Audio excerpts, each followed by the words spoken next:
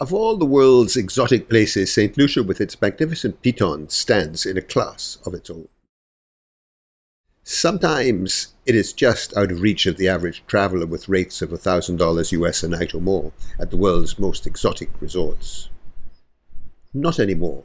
Now you can stay in comfort and holiday in style at poinsettiaapartments.com. Centrally located and close to all of your St. Lucia adventures at a price you absolutely can afford.